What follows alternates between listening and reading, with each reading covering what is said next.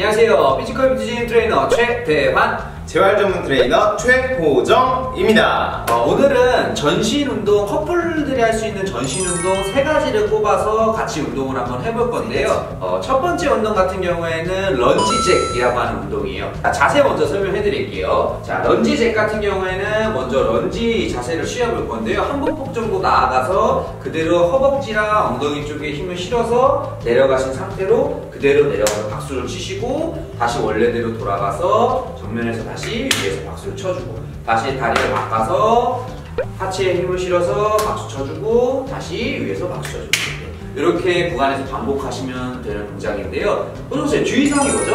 자, 주의사항 같은 경우에는 런지 동작을 하면서 진행을 하실 때 여기서 무릎이 발끝보다 앞으로 나아가지 않게 주의를 해주시면 될 건데요. 무릎이 앞으로 나아가게 되면은 무릎에 대한 과도한 부하가 생겨 통증을 발생할 수 있습니다.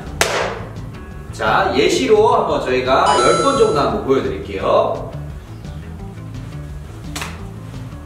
하나, 둘, 셋, 넷, 다섯, 여섯,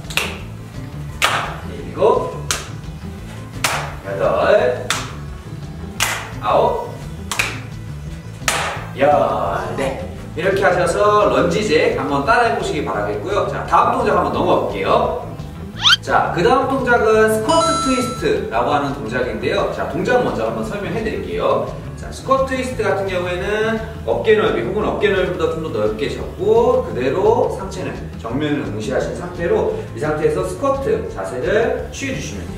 그대로 하체에 힘을 실어서 스쿼트 자세를 취해주고 일어나면서 몸을 틀어서 그대로 팔꿈치랑 무릎이 닿기 직전까지 혹은 닿을 때까지 몸을 틀어주시면 돼요. 그리고 다시 스쿼트하고 다시 몸을 틀어서 무- 무릎이랑 팔꿈치가 닿을 수 있게 해주시면 되시고요.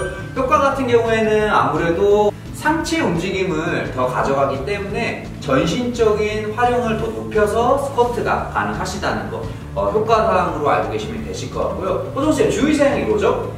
자, 주의사항은 스쿼트 동작을 하면서 일어나시며 트위스트 동작을 진행을 하실 때 무릎과 팔꿈치가 최대한 닿을 수 있게끔 진행을 해주셔야 상체에 대한 운동과 동시에 하체 운동까지 같이 될 수 있다는 거 꼭 알아두시면 좋을 것 같습니다.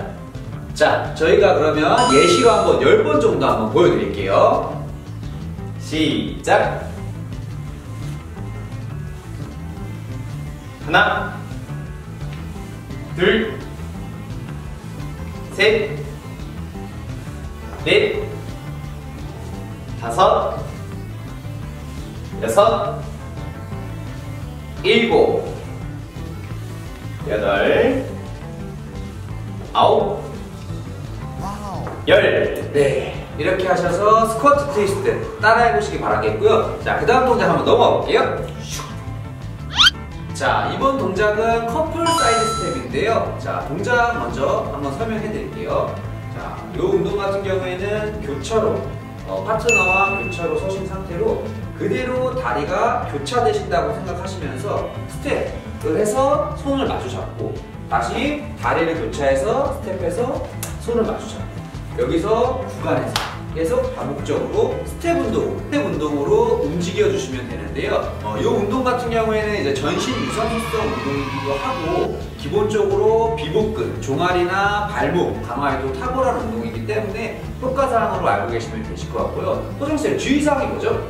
자, 주의사항은 파트너와 교차해서 서주신 상태에서 좌우로 움직일 때 무게중심을 이용하여 너무 당겨버리지 않게 그렇게 되면 파트너가 넘어질 수 있기 때문에 자, 다시 동작을 하시면서 너무 당기지 않아주시면 되도록 하겠습니다.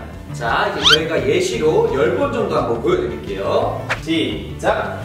하나, 둘, 셋, 넷, 다섯, 여섯, 일곱, 여덟, 아홉, 열.